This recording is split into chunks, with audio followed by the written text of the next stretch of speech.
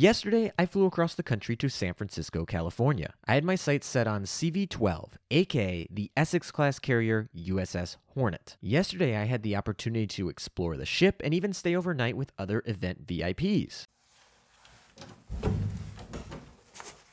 This is the room aboard the USS Hornet that I'll be sleeping in tonight. It's so pretty out here on the flight deck at night. However, today is the official Azur Lane convention, CarrierCon 2023, where my content creator friends and I will be hosting a featured panel aboard the ship. We've already doubled our attendance expectations with over 1,500 tickets sold, so I'm excited for what this event has in store for us. Subscribe to the channel if you want to see a longer, in depth post review of this event, or just more content like this.